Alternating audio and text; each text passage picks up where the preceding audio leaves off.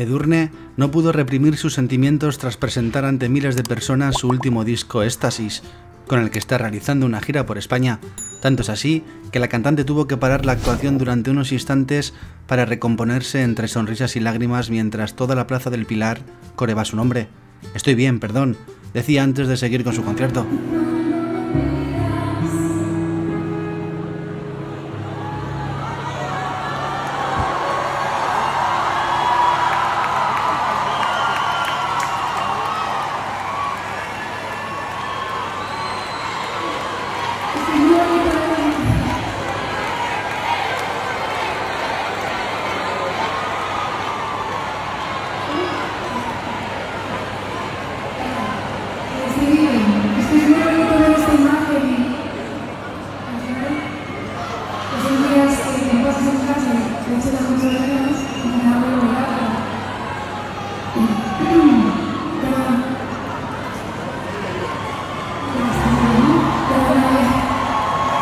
A través de Instagram, la propia cantante ha asegurado que no pudo contener las lágrimas tras la, tras la calurosa acogida por parte de los maños.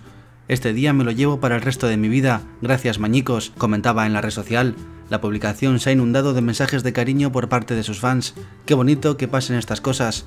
Para mí supone uno de los lugares más importantes de la gira. Me han hablado también de las fiestas del Pilar. Me han dicho que va a haber mucha gente, que voy a alucinar con el recibimiento.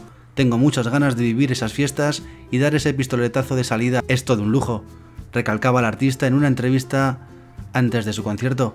Dime en comentarios qué piensas, recuerda suscribirte al canal para no perderte nada y activar todas las notificaciones de la campanita, así sabrás cuando subimos vídeo, nos vemos en el próximo...